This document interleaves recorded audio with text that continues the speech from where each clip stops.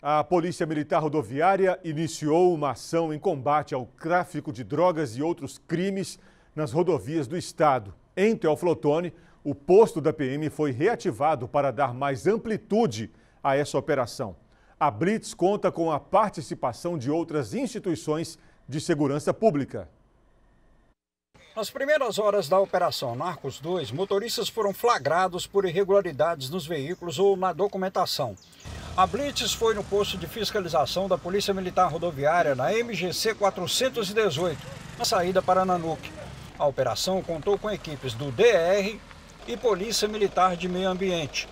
Luan fez teste com etilômetro e, após constatado negativo para uso de álcool, destacou a importância da ação policial. Qualquer teste né, que, a, que a polícia sugere para a gente, solicita com a gente, a gente fica muito tranquilo porque a gente entende que é o processo mesmo de segurança. A gente está vendo como está a movimentação da nossa cidade, então fica até satisfeito de ver operações como essa sendo realizadas.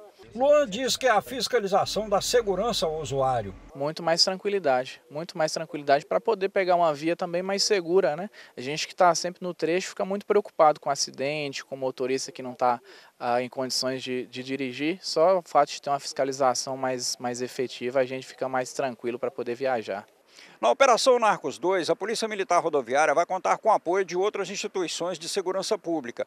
E as fiscalizações vão acontecer nas rodovias, como também na zona rural, com emprego de tecnologia e todos os recursos disponíveis para garantir a segurança da população. O comandante da Polícia Militar Rodoviária em Teófilo Otoni, Tenente Reinaldo, diz que as ações têm foco no enfrentamento ao tráfico 2 mil homens foram destacados para patrulhar mais de 30 mil quilômetros de rodovias no estado. Essa operação Narcos 2, semelhante à anterior, o foco tráfico de drogas, apreensão de armas de fogo e de foragidos da justiça, de forma que as rodovias continuem cada vez mais seguras.